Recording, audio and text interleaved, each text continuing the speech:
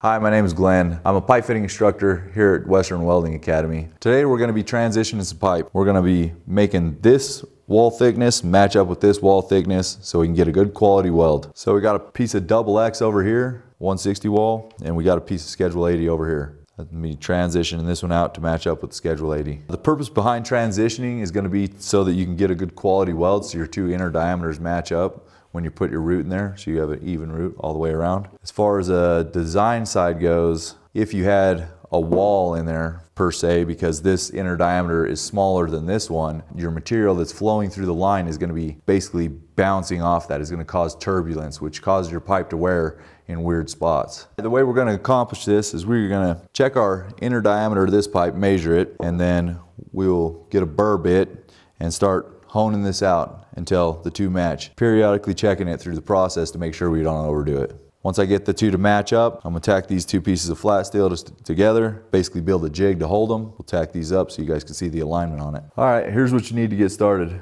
couple pieces of flat bar, tape measure, a half round file, set of chain grips, one inch flapper wheel, burr bit, set of calipers, an end grinder, ruler, and a couple pieces of TIG wire. All right, now that we got all the stuff we need, we can go ahead and get started. We'll clamp the pipe down and get moving. All right, I'm gonna clamp the pipe down. I'm starting with the end grinder and the burr bit because it's the most aggressive and it takes off the most material. We have quite a ways to go and this is gonna get us there.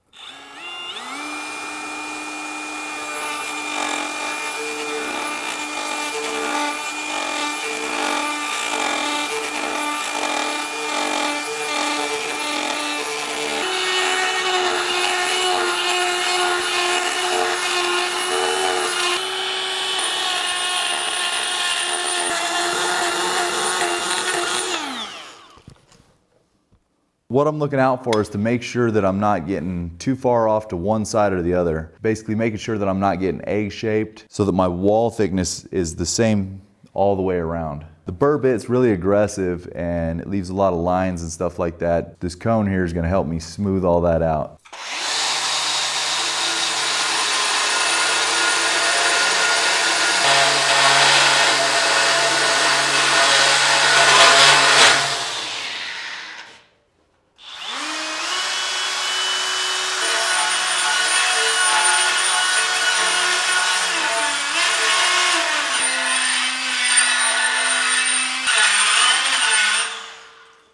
I put an eighth inch hard disc on here so that I can take the burr off the end of the pipe and then I'll take some measurements and double check dimensions, make sure we're staying consistent.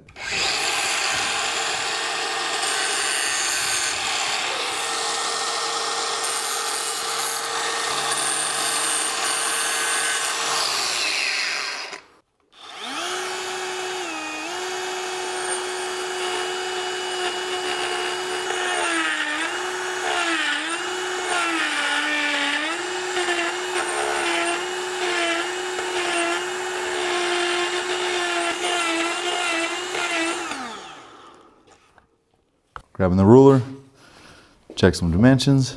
So what I did is I flipped it to the uh, 64th side of my ruler.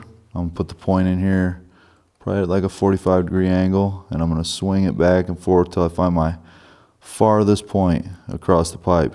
Looks like 50 64ths. Grab my file, pull the burr out a little more,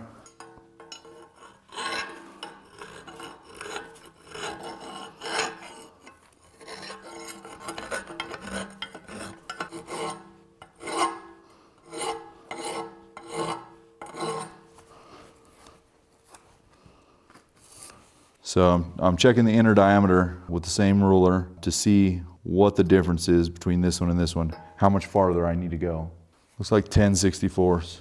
So I'm off by 10 64ths, which is uh, 5 30 seconds. I'm gonna hit it again with the rock, clean up some of my marks in there, start moving it out slowly now because I'm getting close.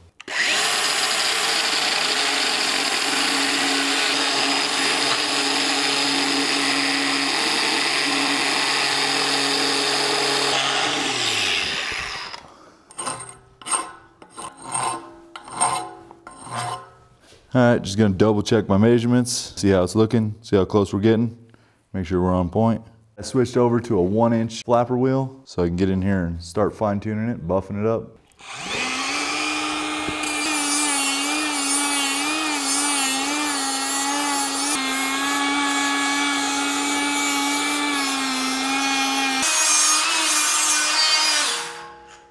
I'm gonna tack up these two pieces of flat bar, make me a jig to tack these up with.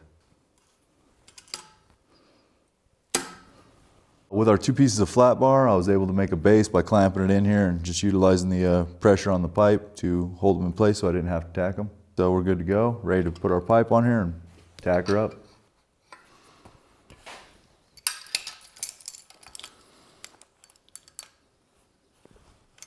Really quick, we're gonna set the machine up. Right now I'm changing the uh, welding process to TIG. I put it on uh, TIG process and 85 amps, just for putting a couple tacks in here. Now they've got the machine set up, I moved it up to 95 amps. Uh, it was running a little cold, so we are ready to start tacking up.